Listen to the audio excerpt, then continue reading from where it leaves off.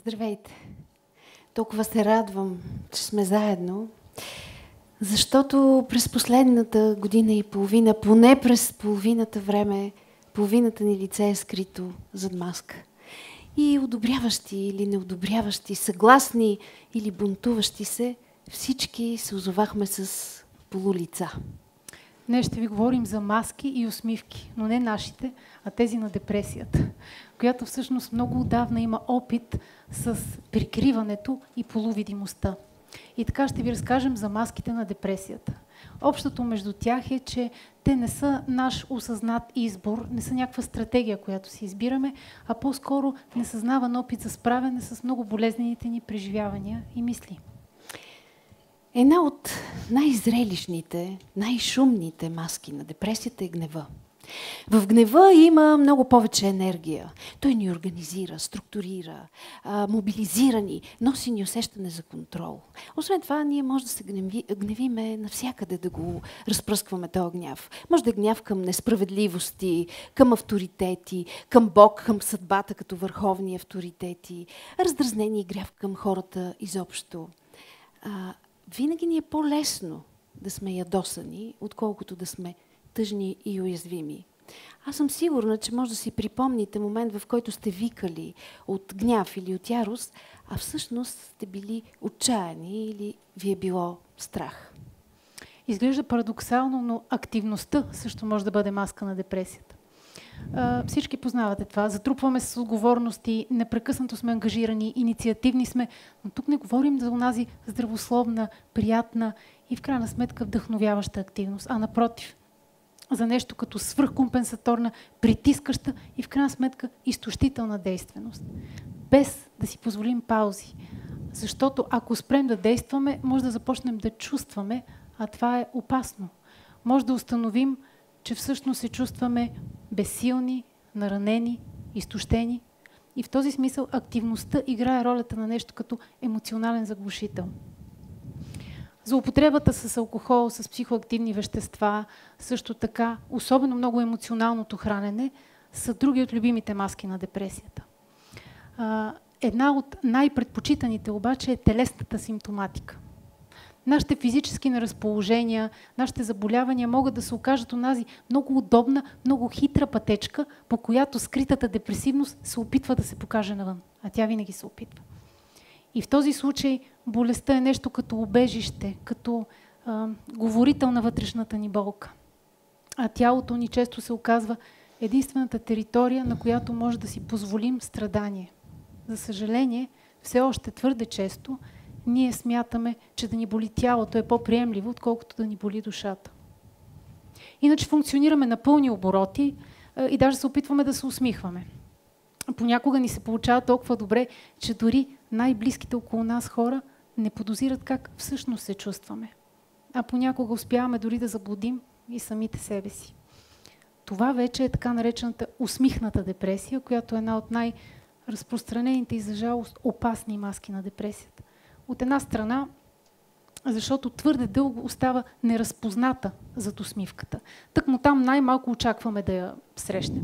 И от друга страна, наистина, времето, в което остава неразпозната, е опасно. Представете си един човек с усмихната депресия. Ако го наблюдаваме отстрани, не може да забележим нищо особено. Той функционира пълноценно, по обичайния за него начин. Ако изобщо забележим някакви промени в настроението или в поведението му, те или не са достатъчно отчетливи, или пък сме склонни да ги подценяваме. Казваме, че това се дължи на умората, на стреса, на изобщо трудните, трудната обстановка около нас и разбира се да не забравяме този универсален извор на беди и мъки за човешкия род, ретроградния Меркурий. А, така че при... А, смеете се, но той наблюдава.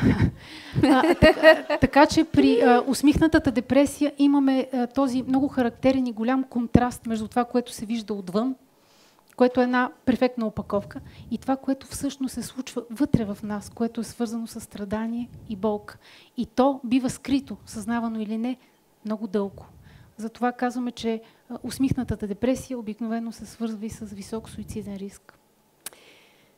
Един пример за такава усмихната депресия. Е Виктория, която беше част от наша терапевтична група. Разбира се, ние сме променили името, променили сме част от фактите, така че да можем да отговорим на изискването за конфиденциалност. Когато Виктория дойде при нас на първичното интервю, преди влизането си в групата, ние видяхме един ден, креативен човек с впечатляващо чувство за хумор.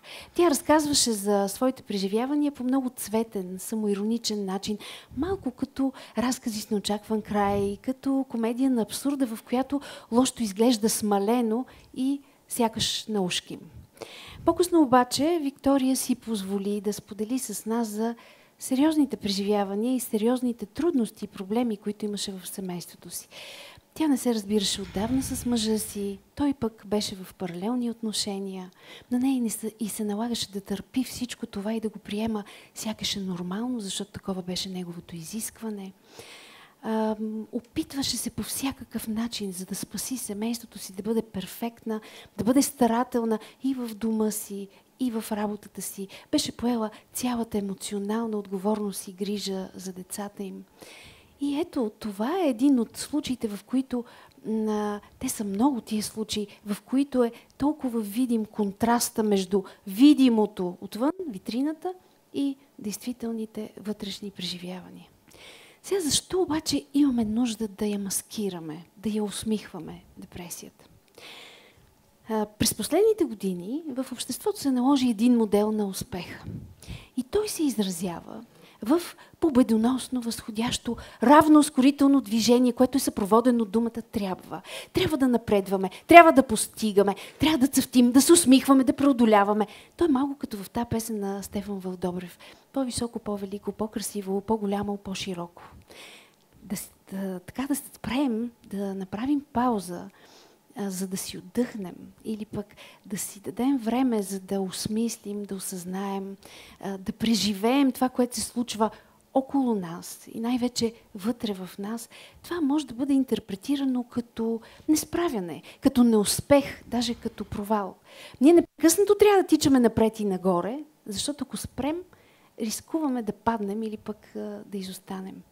И ето как нашето собствено разбиране за успешен и за пълноценен живот не ни дава да се отдаваме изобщо на негативни емоции. По-добре се правим, че ги няма, защото те ни объркват, забавят ни и най-важното, те не са ефективни.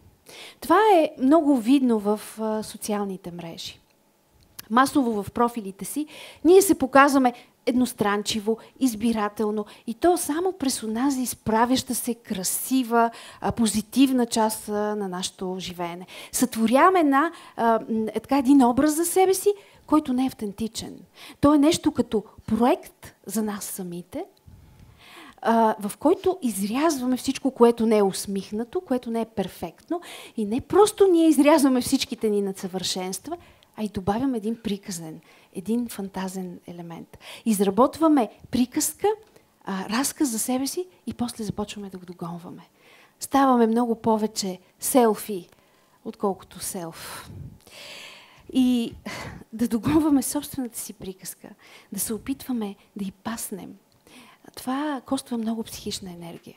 Освен това да не забравяме, че в социалните мрежи ние се сравняваме и ние се състезаваме и с чуждите приказки и с чуждите проекти. Непрекъснато гледаме снимките, сторитата на другите. И ако не можем да отговорим с поне същото, а най-добре още по-добро свое представяне, тогава се напрягаме.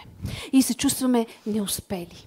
А, малко е като надиграване на Мегдана. Уж е забавление, ама не е съвсем. Защото това да тропаш ръченица непрекъснато не е лесна работа.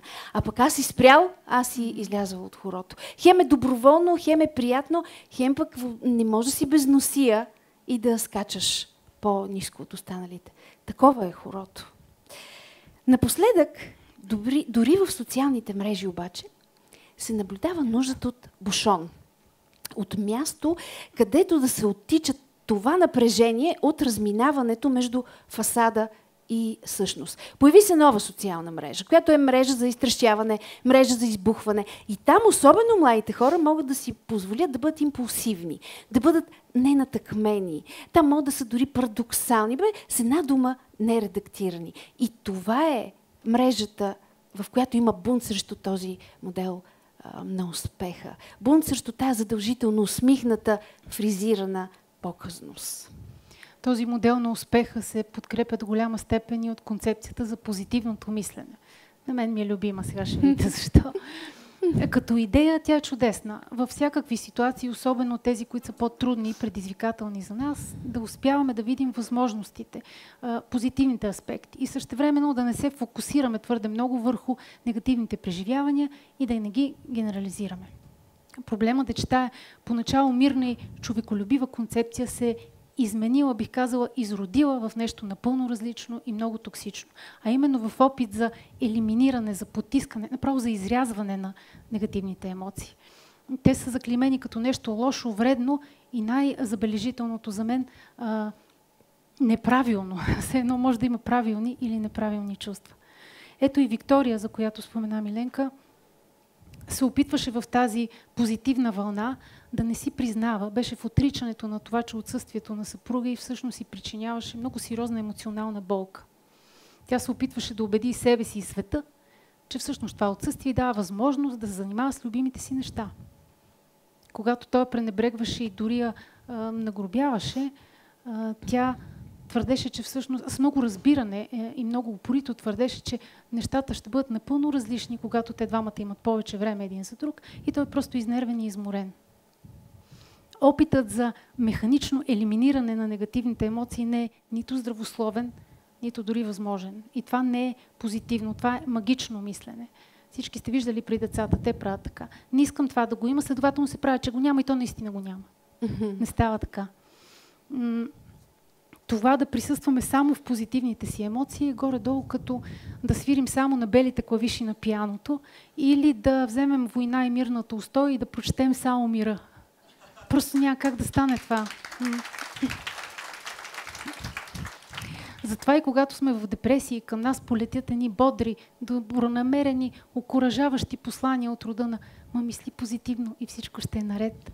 Ма това е само в твоята глава. Ма ти, защото много ги мислиш тия неща, то затова е така. И куп подобни, всъщност ефектът е обратен. Това задълбочава нашата депресивност. Защо? Защото сме още по-неразбрани, неприети, виновни и в крайна сметка провалени.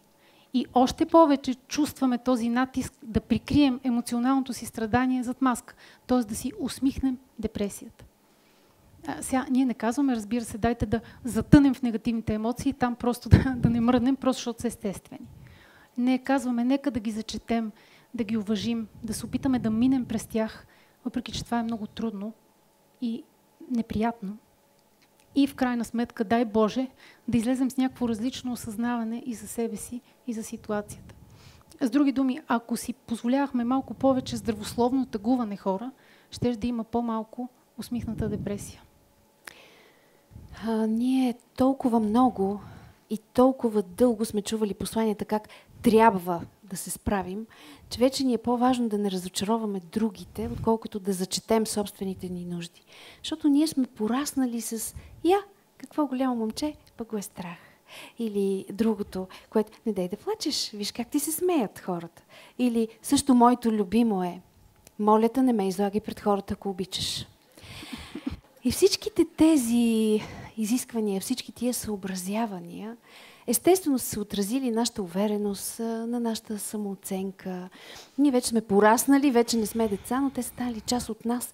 Те са се превърнали в наши убеждения, в наши вярвания. И когато ние сме в трудна ситуация, нас ни е повече страх да не се изложим. Ние много повече приоритизираме чуждите нужди, отколкото собствените си нужди. Сега, а, някакси това, ако продължи прекалено дълго, вие си представете какво може да се случи. Ако дълго време ние стоим в това напрежение, това може да доведе до пречупване. Просто да рухнем.